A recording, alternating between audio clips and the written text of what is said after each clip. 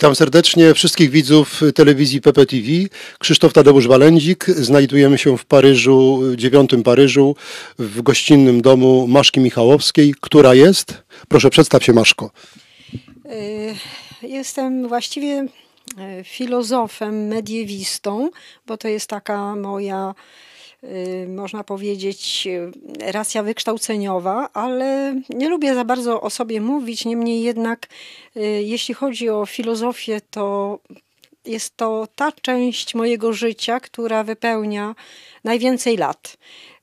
Natomiast drugim takim słabym punktem, o ile można powiedzieć, albo mocnym punktem, jest również sztuka, bowiem bardzo lubię i interesuję się łącznie z historią sztuki. Więc to są moje takie dwa aspekty, które przyciągają moją uwagę i przede wszystkim poświęcam temu swoje życie.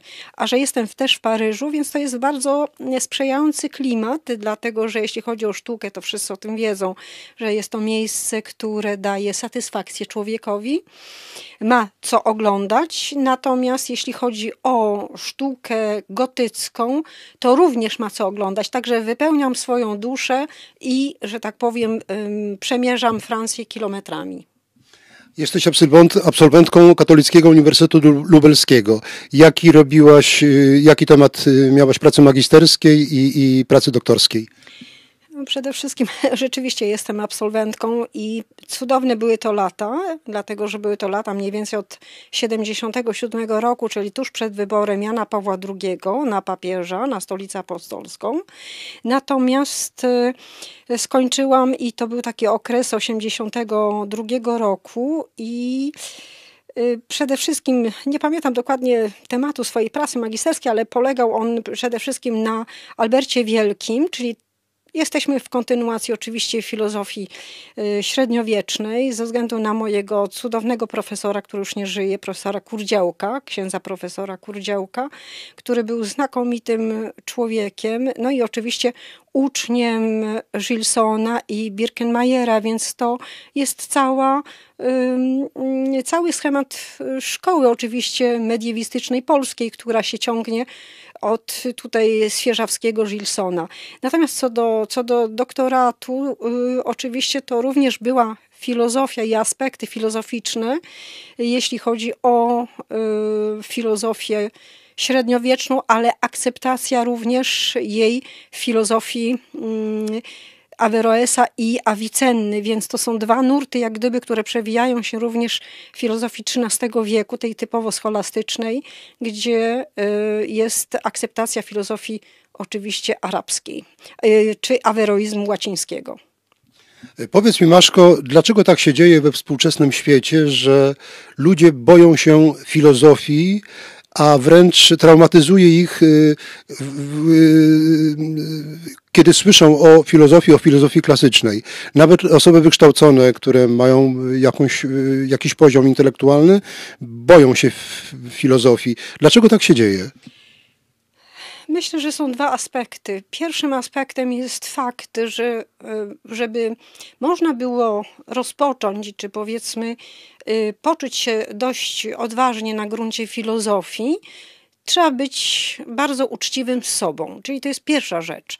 Y, co to znaczy być uczciwym z sobą? To znaczy przede wszystkim poznać historię filozofii, czyli jak gdyby po pierwszym, w pierwszym aspekcie zająć się samą historią, i poznać tych filozofów. I to, co mnie nauczyli oczywiście moi mistrzowie na Katolickim Uniwersytecie Lubelskim, to była ważna sprawa, dlatego że yy, mówili o jednej rzeczy. Możecie kochać różnych filozofów, natomiast trzeba być obiektywnym. Prawda powinna być obiektywna, to znaczy yy, nie możemy yy, przy, yy, przyzwyczaić się do filozofów, że tak powiem, i y, nie mieć do, niego, do nich krytycyzmu, to znaczy w sensie obiektywizmu. Druga sprawa, jeśli chodzi o tą jakość filozoficzną, to przede wszystkim jest jedna rzecz. Y, dzisiejszy świat pozwala, to znaczy inaczej, y, ze względu na technologię, wszyscy myślą, że bardzo łatwo można wszystko odczytać z różnych źródeł, natomiast filozofia nie pozwala na to, żeby czytać tylko z różnych źródeł, tylko jeszcze trzeba wymieniać swoje poglądy. Więc w momencie wymiany y, nie mamy dzisiaj tak zwanych szkół, gdzie dyskutuje się. I to jest właśnie ten moment, gdzie powinniśmy się przyzwyczaić do tego i nauczyć się dyskusji, dyskusji właśnie filozoficznych. I dlatego ludzie boją się filozofować, dlatego że nie lubią dyskutować nie lubią dyskutować, dlatego że w momencie, kiedy się nie potrafią, dlatego że, że w momencie, kiedy dyskutuje się, to trzeba dojść do, do, do, do meritum, trzeba, trzeba dojść do prawdy, a ludzie się boją prawdy we współczesnym świecie. Tak, bo najłatwiej jest każdemu, że tak powiem, udowodnić, że mamy swoją własną prawdę. Nie, nie, nie, nie mamy swojej własnej prawdy, bo jakkolwiek by nie było, wedle filozoficznej, filozoficznej reguły czy filozoficznego rozumienia, prawda jest, natomiast chodzi o to, żeby ją szukać. I teraz pytanie jest takie, czy y, ludzie dzisiaj nie są skromni, więc y, co to znaczy mieć prawdę? Nie posiadamy swojej własnej prawdy, nie posiadamy też, to znaczy robimy wszystko, żeby wyszukać metody prawdy, i właśnie to daje nam filozofia. Co to jest filozofia? Z greckiego oczywiście poszukiwanie mądrości. Jak najbardziej. Więc jeżeli poszukujemy mądrości, a za tym idzie oczywiście prawda, i wtedy możemy dyskutować na temat mm, filozofii antycznej, na temat filozofii chrześcijańskiej i tak dalej, i tak ale mamy prawdy, gdzie dochodzimy i wtedy szukamy i każdy z nas rozwija się po swojemu, czyli ma tam tak zwaną tą, ten potencjał duchowy i duchowość człowieka jest y, bez, y, bez głębi. To znaczy w tym sensie, że jest tak głęboka, że przede wszystkim każdy z nas musi sobie wyszukać, co, yy, nie to, co jest prawdą, ale to, do czego zmierza. I wobec tego droga, do której zmierza, czy którą zmierza do celu, musi być po prostu, powinna być tą prawdą i tym osiągnięciem dla nas. Oczywiście. I to jest trudne. Arystotylowska y, koncepcja prawdy to jest zgodność? Zgodność, właśnie. Zgodność y, sądów tak, z tak, ze stanem istnienia. Ze stanem istnienia. Absolutnie. Ale czy tak rzeczywiście jest? Nie wszyscy jesteśmy Arystotelesami. No więc właśnie, proszę Państwa, no jeste, nie jesteśmy, y, my jesteśmy platonikami, a przede wszystkim, jeżeli mówimy o tych, którzy są katolikami, no to większym mistrzem od prawdy i życia i drogi, no to nie może być nikt inny jak tylko Chrystus. No właśnie, dzisiaj jest y, wyjątkowy dzień, 17. Y, rocznica śmierci naszego wielkiego Polaka, świętego Jana Pawła II, mistyka, filozofa, etyka, teologa. Mm, co byś powiedziała o, o tym dniu i o Janie Pawle II? Człowiek, który jest pieczęcią Polaków, powinien być pieczęcią Polaków, powinien być e, w ich sercach. Natomiast z przykrością stwierdzam, że tak bardzo zapomina się o tym, jaką naukę nam dał już wcześniej, zanim został papieżem, i potem wszystkie encykliki Jana Pawła II.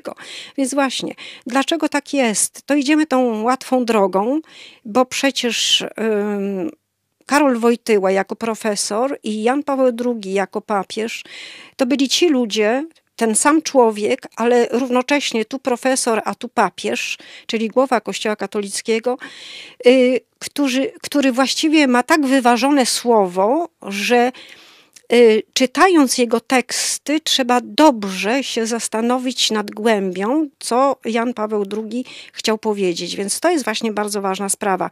I boli mnie serce, kiedy mm, ludzie z łatwością przechodzą, mają już w tej chwili y, w 2022 roku, w 2022 roku mówi się o tym, że e, nie chcemy sobie zawracać głowy, nie chcemy w ogóle wchodzić w naukę i w szczegółowo e, właśnie zajmować się problemem. Ja na dzisiejsze spotkanie, ponieważ mamy właśnie spotkanie, e, więc przygotowałam wspaniałą rzecz księdza Stycznia, księdza profesora Stycznia, I to jest ta sama katedra, kiedy Wojtyła razem z nim, y, że tak powiem, prowadził etykę na Katolickim Uniwersytecie Lubelskim i piękna książka że, o tym, że y, Jan Paweł II to jest wieczne Getsemani, właśnie. I ponieważ jest ten czas w tej chwili przygotowania się do Wielkiej Nocy, do okresu tak wielkiego w chrześcijaństwie. Więc dlaczego, dlaczego Styczeń napisał taką książkę? Ano właśnie dlatego, że Jan Paweł II swoje trzecie tysiąclecie, właśnie to, w co nas wprowadził, to powiedział Bóg oczywiście został człowiekiem i ciągle się obawiał Jan Paweł II, że tak mało ludzie i on sam jako prowadzący Kościół tak mało dał, że tak powiem, ofiary Chrystusowi, tej odwzajemnionej ofiary. Więc właśnie ta modlitwa w Getsemani i to, co mówi styczeń o Janie Pawle II. Jan Paweł II poczuł się dokładnie tak jak Piotr, gdzie zasnął, a Chrystus mówił w ogrodzie: czuwajcie. No właśnie. Jan Paweł II w trzecie tysiąclecie, kiedy wprowadzał nas, mówił: czuwajcie. Tak jest, czuwajmy. Y, wiem, że od prawie przez prawie 20 lat y, w Paryżu działała y, paryska filia, można powiedzieć, Katolickiego Uniwersytetu Lubelskiego w Lublinie która wykształciła olbrzymią rzeszę magistrów, y, kilkudziestu mm, doktorów y, filozofii. Wiem również, że były dwu lub trzykrotne wyjazdy do Grecji i ty w tej Grecji byłaś przewodnikiem, opowiadałaś o, o, o, Grecji, o starożytnych filozofach, o kulturze greckiej. Czy możesz powiedzieć coś na ten temat? Owszem, była to pasjonujący, był to pasjonujący wyjazd rzeczywiście, mm, dwunastodniowy. Y, zwiedziliśmy tam po prostu starożytną Grecję, ale przede wszystkim y, szliśmy śladami Arystotelesa i Platona. To była bardzo interesująca, rozbudowana oczywiście y, wyprawa. Y, wieczorem, bo to było też fantastyczne, więc nie tylko y, właśnie pod kątem sztuki, bo to rzeczywiście sztuka była niesamowita i można było obejrzeć. I tu, że tak powiem, uwolniłam z siebie tą miłość do sztuki, między innymi do historii sztuki. Natomiast wieczorem była sama dyskusja, jeśli chodzi o filozofię. I to była rzecz pasjonująca, dlatego że y, właśnie na gruncie tejże ziemi można było zaczerpnąć ducha. A przede wszystkim jest jeszcze inna sprawa, bo na tej ziemi greckiej, w okolicach na przykład y, między innymi meteorów i w części oczywiście Itaki, była, y, mm, były jeszcze zamki średniowieczne, bo przecież trzeba sobie uzmysłowić, że my mamy na przykład obraz Grecji, że jest to Grecja starożytna, antyczna. Oczywiście. Pierwszy wizerunek Akropolu, oczywiście pierwszy wizerunek Agory, jak najbardziej. Natomiast druga jest rzecz, że przecież nie, nie należy zapominać, że wyprawiając się, y, jeśli chodzi o wyprawy krzyżowe, y, wszystkie, w większości, bo szły y, te wyprawy, które szły lądem, to szły oczywiście również na teren Grecji po to, żeby się również oczywiście przedostać do Turcji, Azji Mniejszej i potem na Jerozolimę, jak najbardziej, więc to była pierwsza część, a druga oczywiście drogą wodną. Więc jakakolwiek by nie była sytuacja, to można zobaczyć, było ruiny, które zostały oczywiście z, zupełnie no, w fatalny sposób potraktowane, bo część zamków jeszcze gdzieś tam w ruinach istniała, średniowiecznych, IX, X, XI wiek, y, o czym właściwie sami Grecy wcale nie chcą mówić, natomiast w momencie, kiedy y, nastąpiła inwazja turecka, zostały one po prostu zniszczone z racji tego, że nie miały miejsca bytu. Y, powiedz mi, wiem, że od ośmiu lat ponieważ ta, ta, ta filia paryska zakończyła swoją działalność, myślę, że wielka szkoda, ale od 8 lat prowadzisz e, takie, takie spotkania e, raz w miesiącu z niektórymi miłośnikami filozofii, którzy przychodzą do ciebie, żeby się jeszcze dokształcić, żeby jeszcze się czegoś dowiedzieć.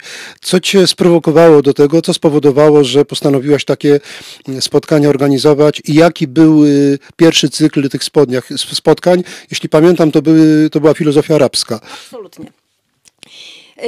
Odważyłam się, ponieważ stwierdziłam, że rzeczywiście potencjał jest bardzo duży i nie można tego tak schować sobie tylko do zeszytu domowego i do, notat, do, do notatek. No więc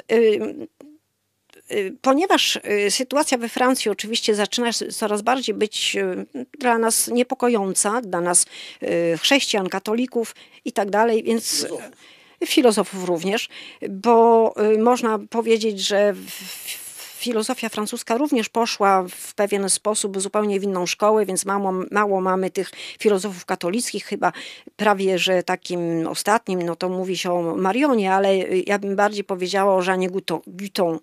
Jean Guton to jest taki, który zamyka właściwie praktycznie karty mm, historii czy filozofii katolickiej czy chrześcijańskiej. I nie, nie to, żeby ich nie było, ale jest ich niezwykle mało i niezwykle oni są, że tak powiem, no, prze, no, nie nazwę tego prześladowania, ale źle widziani po prostu, bo są y, już y, prawie że konserwatywni, nazywają ich konserwatywni. Nie wiem dlaczego, no ale właśnie nie rozumiem przede wszystkim. I postanowiłam, że rzeczywiście rozpoczniemy ten cykl od filozofii arabskiej. Po co? Po to, żeby zobaczyć, jak się dzieje z tymi Arabami, żeby oni, którzy mają swój własną, swoją własną drogę, swoją własną koncepcję, y, że tak powiem, religijno-polityczną, albo inaczej, bo przecież przede wszystkim u nich religia się wiąże oczywiście również z polityką, więc y, rząd francuski, który chce pewne rzeczy załatwić w taki czy w inny sposób y, polubownie, opowiada różne oczywiście sytuacje, więc jakakolwiek by nie była rzecz, chciałabym powiedzieć, chciałam powiedzieć, że należałoby wyjaśnić sobie pewne sprawy i żeby wyjaśnić, no to stwierdziłam, że będzie kilka takich spotkań. Oczywiście y, wszystkim to że tak powiem, bardzo się przydało i stwierdziliśmy, że możemy rozwijać to dalej, kontynuować to dalej. I oczywiście tematy są różne, a więc związane są y, z filozofią średniowieczną. Nie jest to kursus historii y, filozofii, bo nie takie były moje zamiary, więc czasami jest tak, że mieliśmy duży etap na przykład filozofii odrodzenia, y, fantastyczny zresztą, a był to przygotowany przede wszystkim pod kątem wielkiej wystawy, która się odbyła w Louvre Leonarda da Vinci, więc żeby przygotować cały ten, ten pasus, to była niesamowita sytuacja. Więc te, te nasze spotkania są równocześnie pod kątem sztuki, więc wielokrotnie wychodzimy też, że tak powiem, do muzeum, ażeby właśnie potwierdzić to, co, czym się zajmowaliśmy wcześniej, czyli nasze koncepcje, medytacje filozoficzne i rozważania, również jeśli chodzi o pisma, y, a równocześnie, że tak powiem, sztuce, bo przecież jakakolwiek by nie była sytuacja, filozofia również idzie ze sztuką. To jest nasza, że tak powiem, duchowa, y, duchowa sytuacja, duchowe właśnie ubłogosenie. A ile osób przewinęło się przez Twój dom, przez te Twoje spotkania filozoficzne?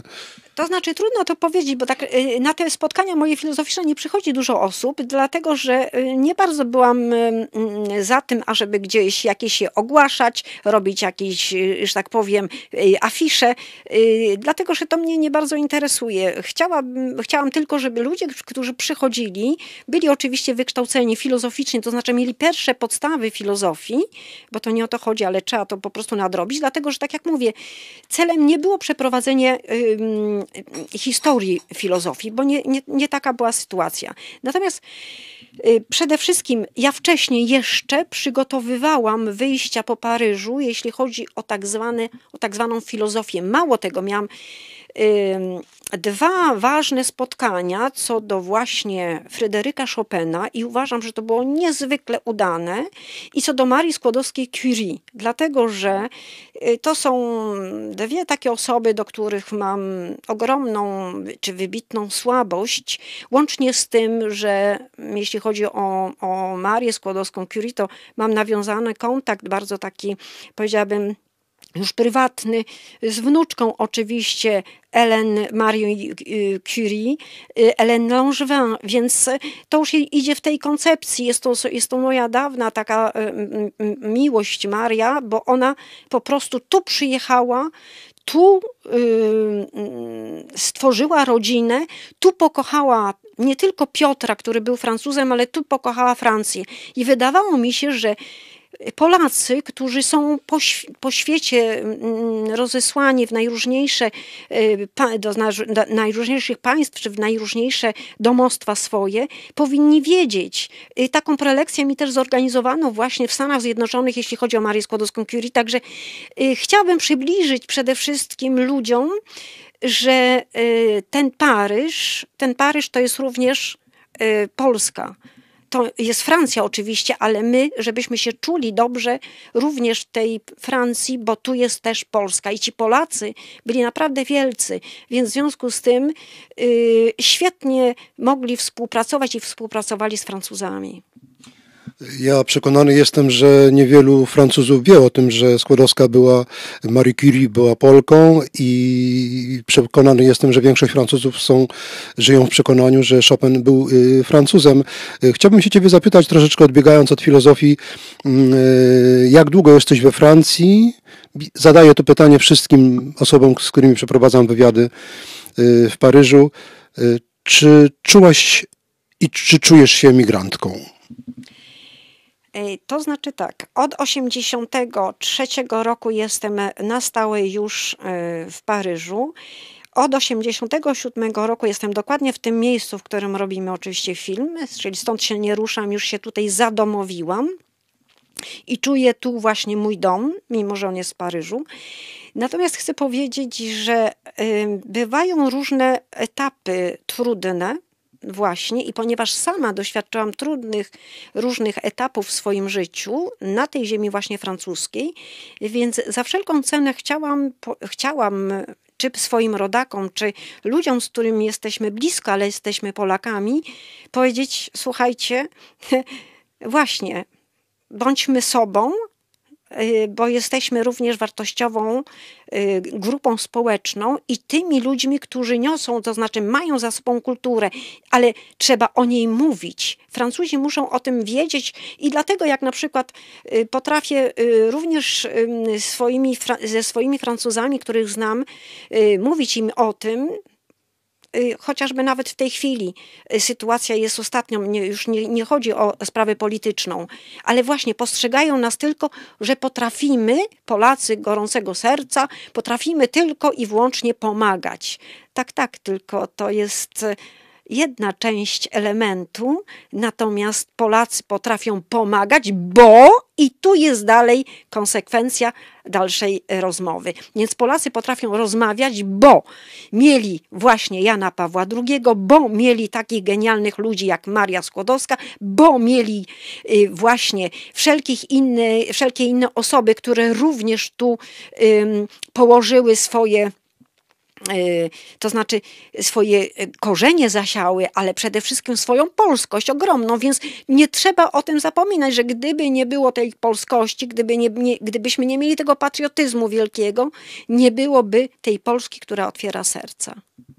Edward Papalski, syn uchodźców, y, uchodźców emigrantów, którzy przybyli do, do, do Francji po I wojnie światowej, wyliczył, że y, od 15 do 20, wtedy ponad, przyjechało ponad 500 tysięcy y, Polaków na prośbę rządu francuskiego. Bardzo często byli traktowani jak niewolnicy wtedy przez Francuzów.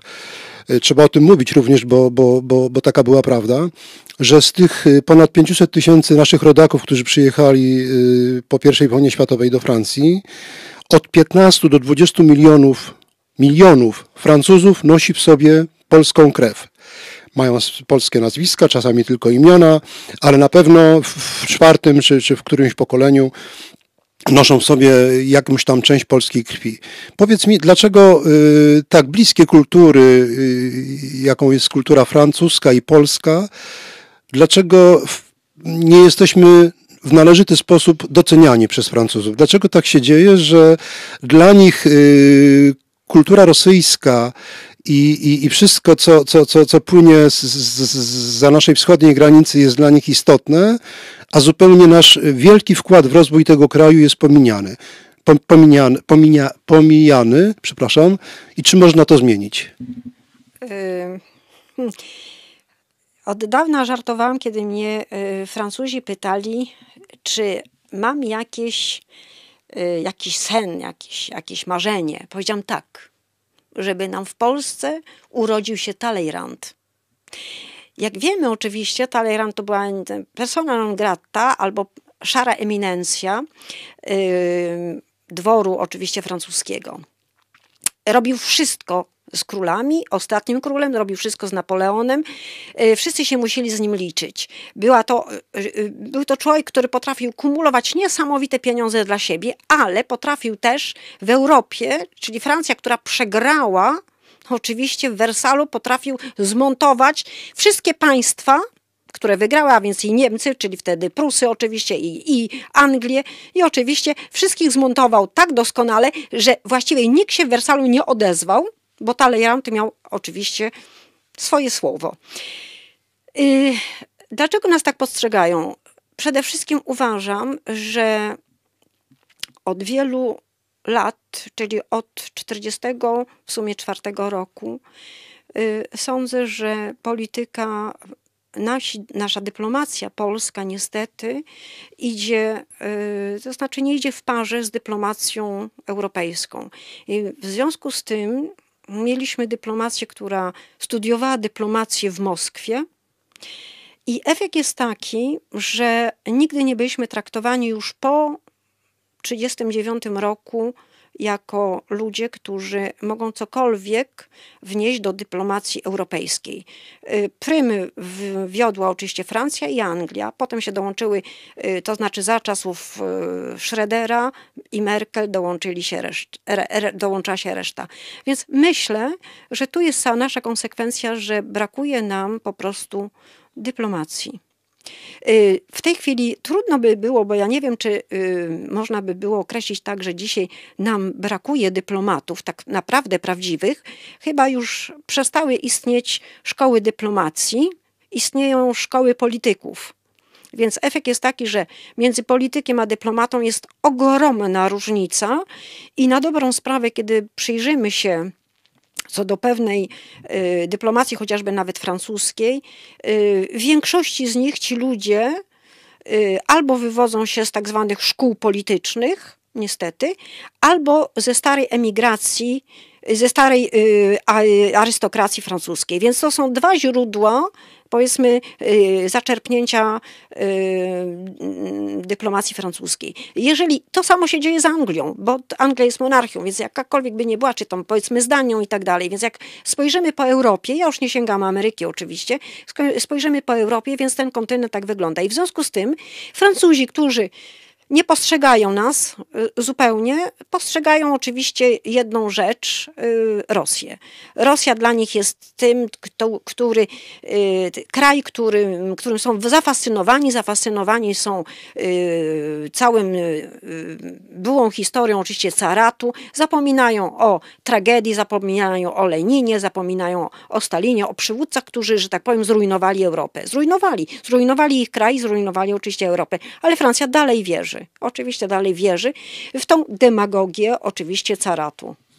Zgadzam się z Tobą. Kiedyś w ambasadzie rozmawiałem z pewnym y, dyplomatą y, francuskim, który mówił, wie Pan, nasza klasa polityczna i klasa dyplomatyczna tworzona była przez kilkaset lat, a my, można powiedzieć, że dopiero się tworzy klasa i dyplomatyczna, i polityczna. Pytanie jest takie, czy, czy, czy, czy ci ludzie, którzy są rozsyłani na, na, na cały świat i którzy mają reprezentować i dbać o polską rację stanu, czy to robią? Moim zdaniem y, nie zawsze albo wcale nie robią. Wydaje mi się, że trzeba lat na to, żeby, żeby, żeby polskie interesy były bronione należycie w odpowiedni sposób przez ludzi, którzy do tego są stworzeni, za co biorą pieniądze.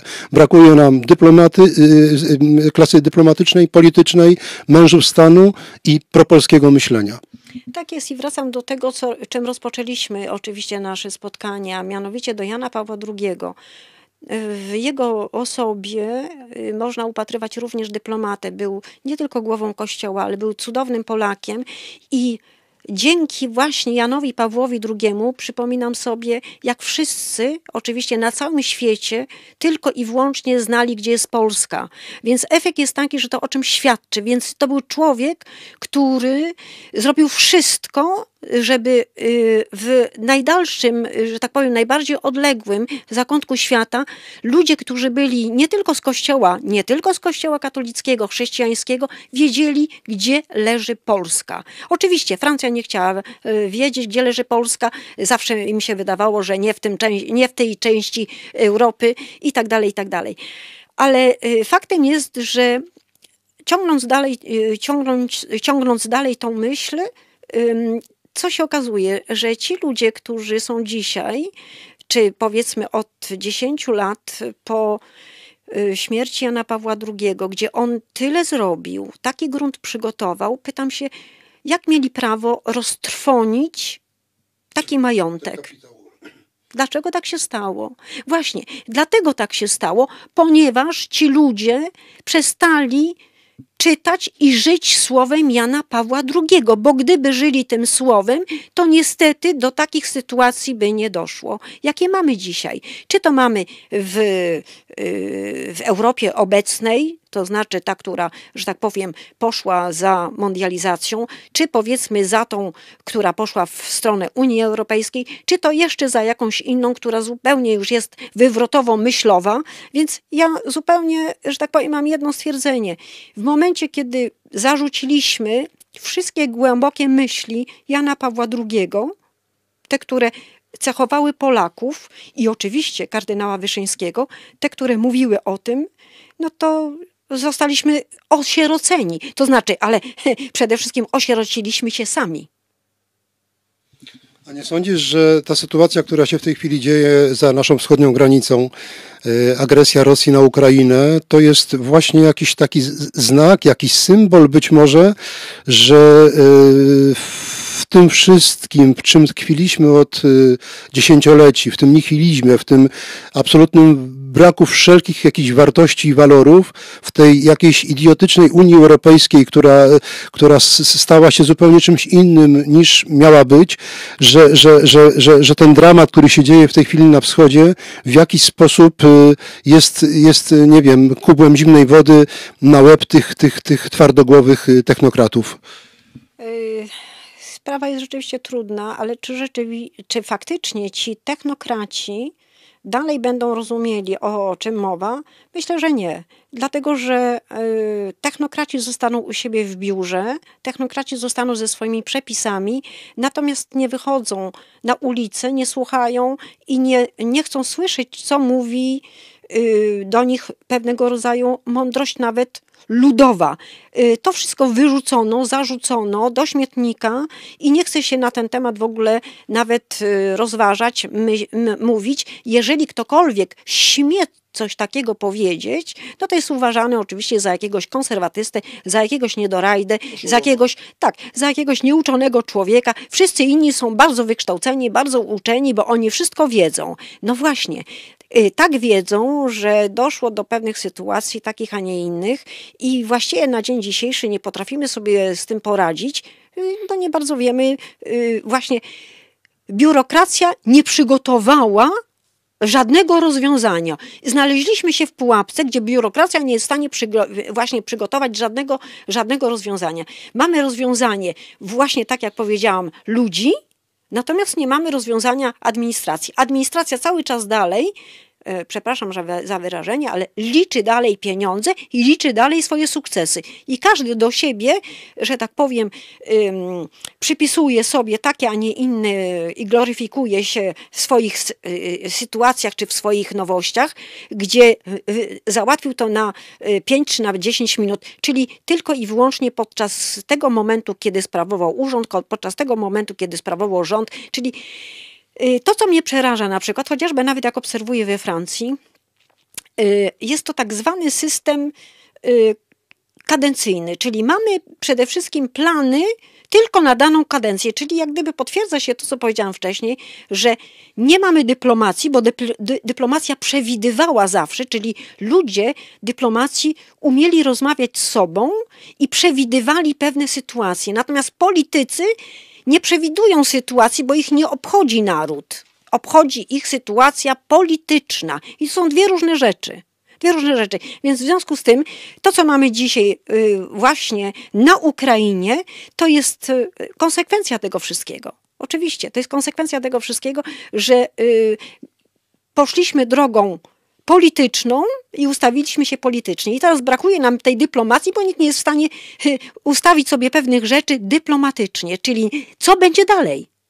No właśnie, co będzie dalej, jeśli przyjmiemy sytuację Rosji, co będzie dalej, jeśli przyjmiemy sytuację Ukrainy? A, stawiamy jeszcze, powinniśmy sobie postawić pytanie, a teraz gdzie jesteśmy my, my Polacy? Otóż to, bo trzeba pamiętać na przykład o jednej rzeczy, jeśli chodzi o kardynała Wyszyńskiego.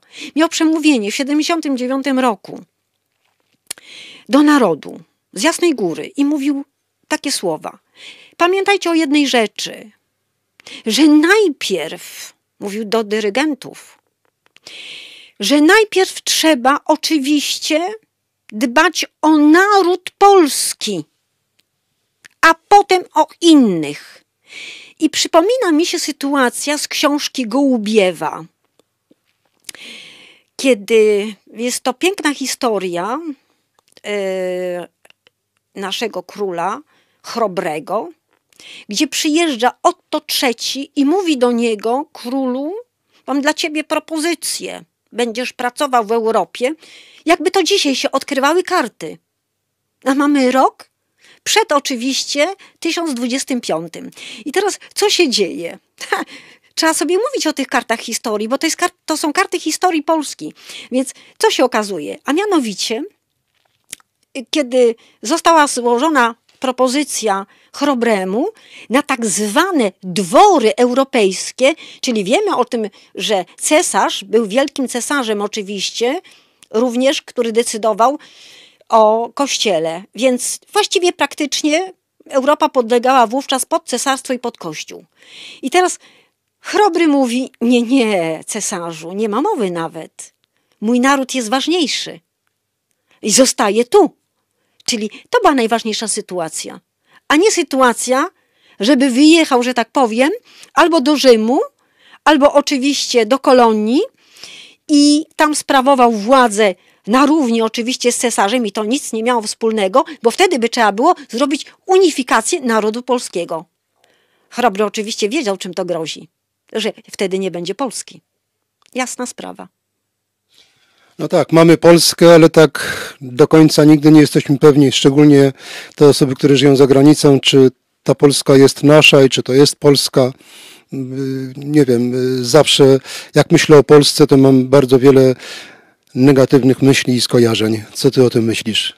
Polska jest zawsze nasza, do momentu, dopóki jest kraj i do momentu, dopóki, że tak powiem, będziemy ją bronić i duchowo, i fizycznie. Polska jest nasza i nie można jej zostawić, bo w momencie, kiedy ją zostawimy i wszystko jedno w jakim to będzie momencie, to wtedy ona przestanie być nasza. Więc trzeba, Jan Paweł II mówił, czuwajcie, czuwajmy.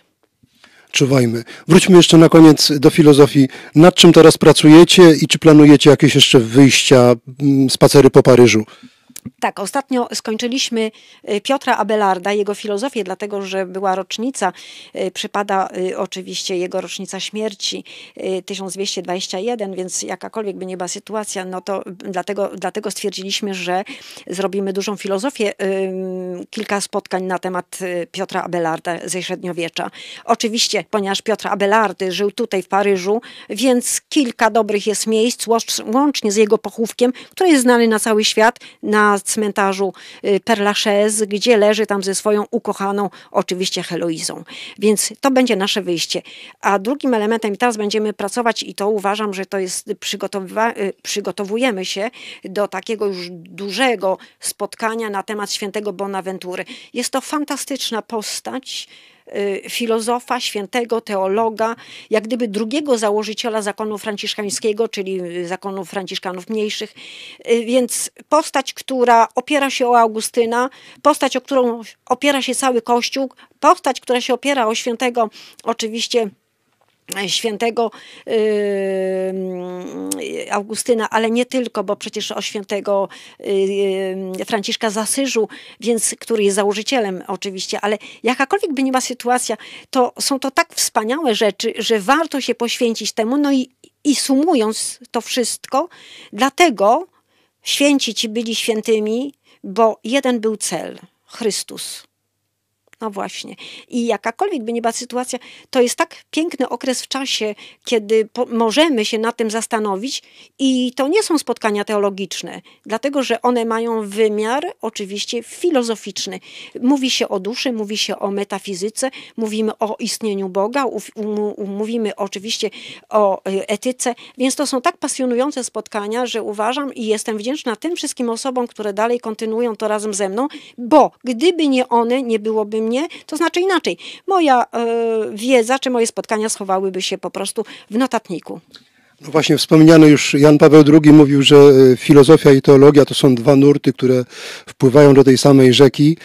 I myślę, że warto to e, było powiedzieć. Jeżeli pozwolisz i zaprosisz naszą telewizję PPTV, to z przyjemnością się na spacer po Père Lachaise z Tobą i z Twoimi słuchaczami yy, kursów filozoficznych wybierzemy. Tak jest. Zapraszam serdecznie wszystkich i nie tylko na Père Lachaise, ale po Paryżu.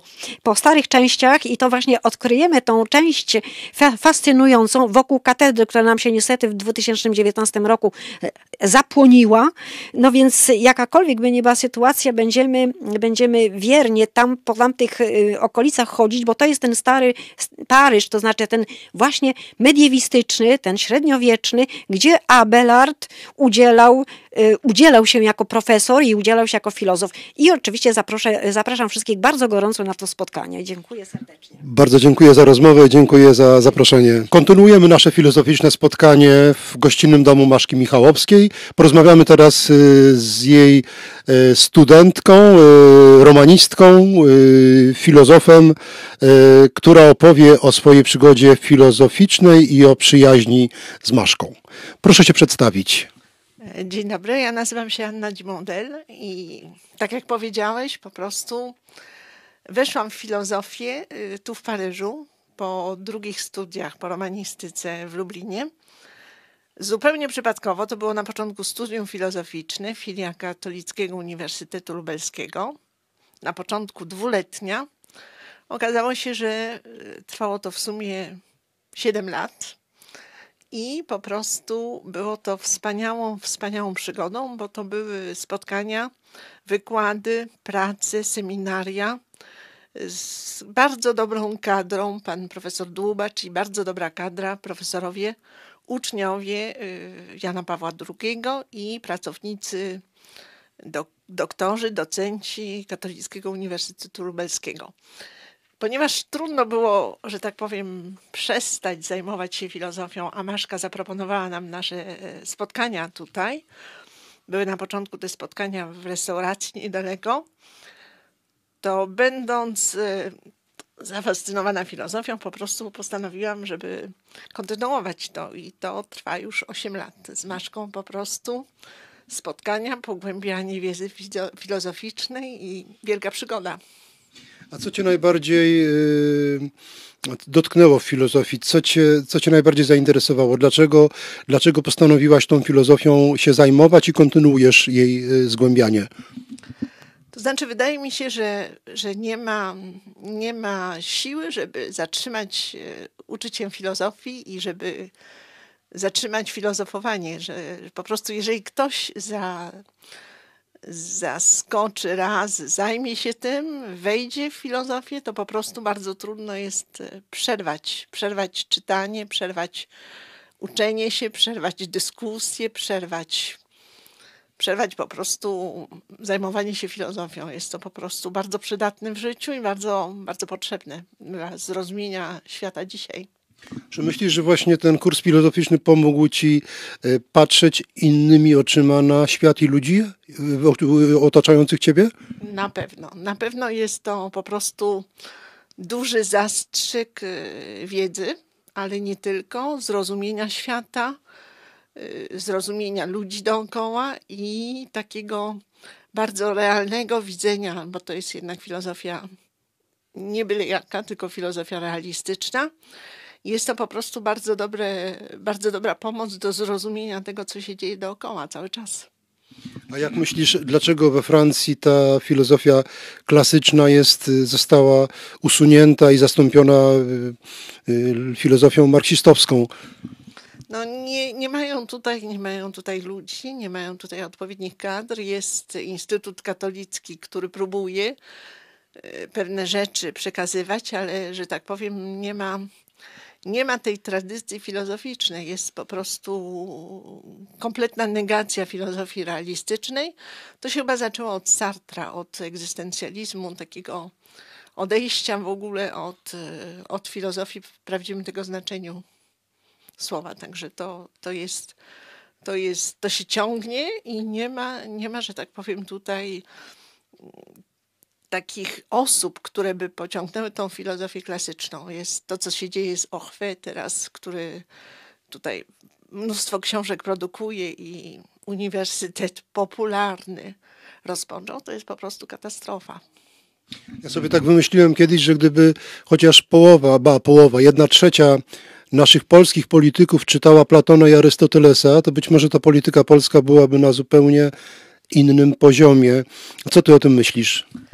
No ja myślę, że, że po prostu dobrze powiedziałeś, jest dwóch filozofów ważnych, jest Platon i Arystoteles, ale, ale chyba trzeba by było, żeby zaczęli czytanie Arystotelesa, po prostu jego polityki, jego, jego filozofii, bo takie bujanie się w ideach to po prostu często przeszkadza w zejściu na ziemię i w konkretnym, w konkretnym, że tak powiem, filozofowaniu, w konkretnym odkryciu rzeczywistości. Także niechby zaczęli od Arystotelesa troszeczkę, od od podstaw Arystotelesa i może po prostu by jednak troszeczkę więcej rozumieli, nie? No tak, tylko że y, tak naprawdę nie wiem, gdyby, gdyby nie było Platona, być może nie byłoby Arystotelesa.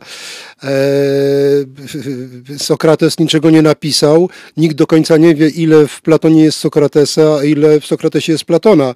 Myślę, że, y, a Platona możemy czytać do poduszki nawet, y, nie trzeba mieć przygotowania filozoficznego, natomiast żeby już czytać i zrozumieć Arystotelesa, trzeba trzeba mieć pewne podstawy.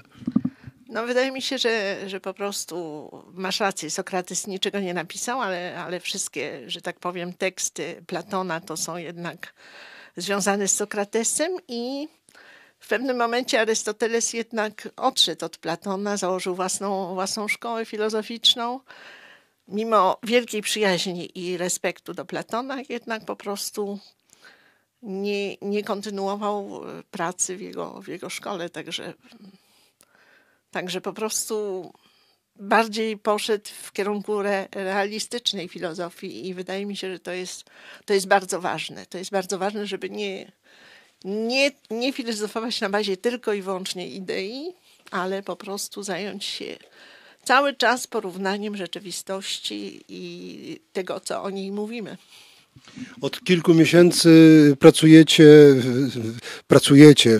Maszka opowiada wam o e, filozofii, filozofie średniowiecznym Abelardzie.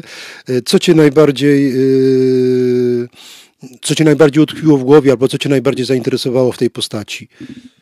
Jego niesamowita inteligencja, jego niesamowity sposób widzenia, wyjaśniania, podejścia do nauki jako takiej no już nie wspominając o jego historii miłosnej z Heloizą, ale, ale po prostu postać, która tu była, która tu bardzo wiele e, działała i miała, że tak powiem, bardzo wielu uczniów i niesamowitą, niesamowitą inteligencję. Szkoda, że nie ma jego tekstów bardziej dostępnych. Także bardzo dziękuję Maszce, że nam tą postać zbliżyła. Tą postać, która tutaj na ulicach Starego Paryża e, przebywała. No, muszę powiedzieć, że Maszka to nie tylko Abelarda. Ona nam przybliżyła wiele, wiele postaci. Był cały cykl poświęcony Norwidowi, był cykl poświęcony prymasowi naszemu, e, także po prostu to były postaci, które, e, które dzięki Maszce mogliśmy dogłębniej poznać i zaprzyjaźnić się z nimi.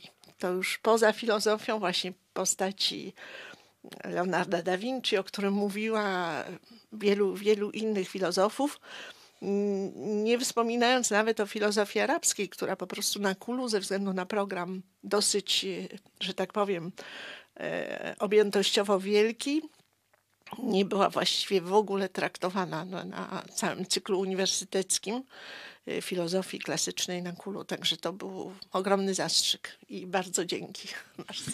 A powiedz mi, ja, ja, jakie byś chciała jeszcze, co, co, Ciebie mm, interesuje, co byś chciała jeszcze usłyszeć na następnych y, spotkaniach y, u Maszki?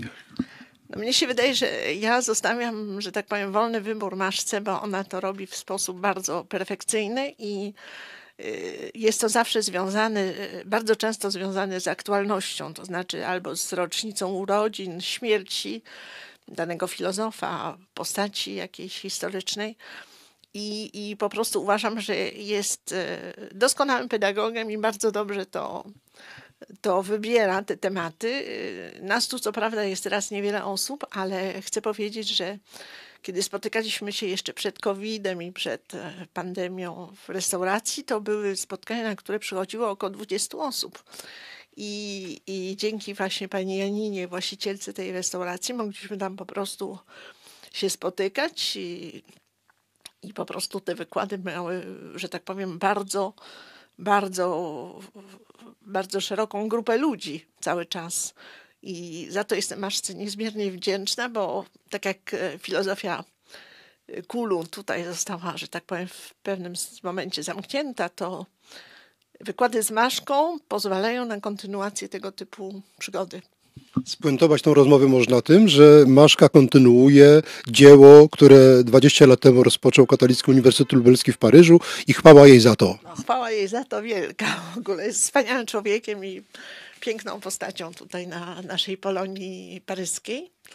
Także mam nadzieję, że to będzie kontynuowane. Bardzo dziękuję za rozmowę. Nazywam się Halina Pomyka i mieszkam w, e, w, Paryżu. Przyjechałam tutaj na trzy miesiące i zostało mi się 30 lat. E, studiowałam e, w Polsce prawo na Uniwersytecie Śląskim w Katowicach i filozofię, która stała się moją największą przygodą życiową i pasją mojego życia. Skończyłam studia dzięki, dzięki właśnie filii Uniwersytetu Lubelskiego w Paryżu Paryżu. Skończyłam studia magisterskie i teraz e, kończę moją pracę e, doktorską i zamierzam e, bronić mojej pracy. Dałam już egzaminy z psychologii i języka francuskiego i także teraz została mi tylko obrona pracy i to jestem w trakcie pisania i, i i konsultuję to z profesorem Dubaczem, który jest moim promotorem. Y, tematem mojej pracy magisterskiej y, była koncepcja zła w interpretacji Mieczysława Alberta Krąbca i postanowiłam y, pogłębić tą moją wiedzę i, i moją pracę magisterską w filozofii, poszerzyć to na różne inne filozofie prawdę powiedziawszy, każdy się mnie pyta, e, dlaczego studiuję filozofię, dlaczego, bo to jest taki temat troszkę e, dziedzina bardzo dziwna i tak dalej. Ja mówię, żeby poszerzyć moje horyzonty myślowe i faktycznie poszerzyłam sobie horyzonty myślowe w każdej dziedzinie, czy to spojrzenie na, na, na politykę, czy w otoczeniu moim. Także bardzo mi to poszerzyło i to stało się moją pasją życiową. Czyli rolą filozofa jest stawiać sobie pytania i szukać na nie odpowiedzi, prawda? E, tak, już sam profesor e, Krąpiec, e, jak go pytano, po co jest filozofia, to stwierdził, że jedynym, jedynym odpowiedzią, jedyną jakąś odpowiedzią jest realne rozumienie świata, a wyjaśnianie tego świata to jest właśnie podstawą rozumienia całej rzeczywistości i nadbudowaniem, nad nią kultury. Ale chodzi o, tu o wyjaśniania świata, nie, nie, jak, e, chodzi to o wyjaśnienia, realne wyjaśnianie świata, ale nie o różnego rodzaju ideologii, e, nie różnego rodzaju filozofie, które pretendują do miana filozofii, ale nią nie są, bo zamieniły poznanie na myślenie, a przez to ustawiły się nie na drodze prawdy, ale e, ustawiły się na mirażu dobra, często niestety pozornego. Korzystając e, z okazji, chciałabym serdecznie podziękować e, wszystkim twórcom, e, wszystkim, którzy się przyczynili do istnienia i działalności filii Katolickiego Uniwersytetu Lubelskiego w Paryżu, którzy otworzyli nam drogę do prawdy, drogę do wielkiej przygody z filozofią i po, pozwolili nam, Polakom, w pewnym sensie zrozumieć i odnaleźć się tutaj w środowisku e, emigracyjnym, no, jakoś nas integrowali i serdecznie chciałabym podziękować profesorowi Dłubaczowi szczególnie i ks- e, księdzu Wacławowi e, Schubertowi, którzy e, z wielkim poświęceniem, e, z wielką pasją oczywiście pozwolili nam w pewnym sensie jakby na nowo odnaleźć się tutaj w tym środowisku e,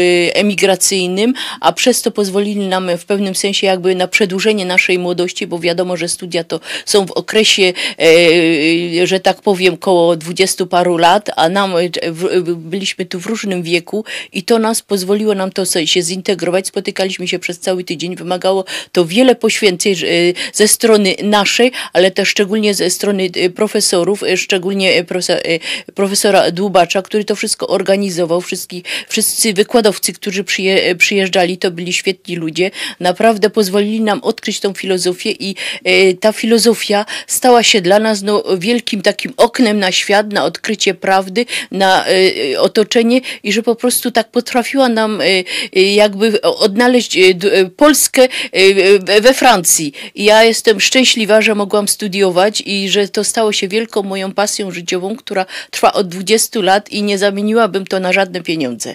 Dziękuję bardzo, dziękuję bardzo. Ja myślę, że bardzo ważne są te słowa, szczególnie dzisiaj, w dniu 17. rocznicy śmierci Jana Pawła II. Dlaczego? Dlatego, że Jan Paweł II był również filozofem, e, ale dlatego, że to, te studia, ta filia Katolickiego Uniwersytetu e, Lubelskiego, która działała przez prawie 20 lat w Paryżu, e, nazywała się Studium Fi- Społeczno, Filozoficzno-Społeczno-Etyczne imieniem Jana Pawła, imienia Jana Pawła II. Także to wszystko ładnie się pięknie splata i w tym pięknym dniu, w 17. rocznicę śmierci naszego wielkiego Polaka, papieża Jana Pawła II, e, żegnamy z Paryża, dziewiątej dzielnicy Paryża, z gościnnego mieszkania Maszki Michałowskiej.